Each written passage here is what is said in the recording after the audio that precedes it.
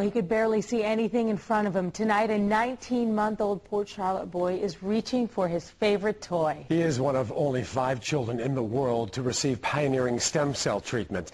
NBC2's Michelle Berto is here to show us how far he has come since that trip across the globe. And Michelle, this is a monumental step for this little boy. Oh, it's huge because in just a matter of three weeks, Cameron Peterson, you see here, is seeing more than ever before. His condition is called optic nerve hypoplasia. It's when the optical nerve nerve doesn't grow properly during pregnancy.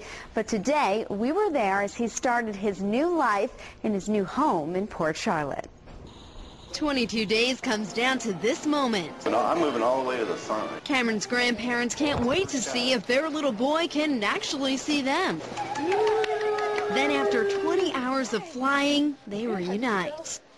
And like any other baby, this one is fast asleep. You'd never know he just finished four umbilical stem cell treatments across the globe. Until today. He moves around a lot more. He moves towards things. Go get it.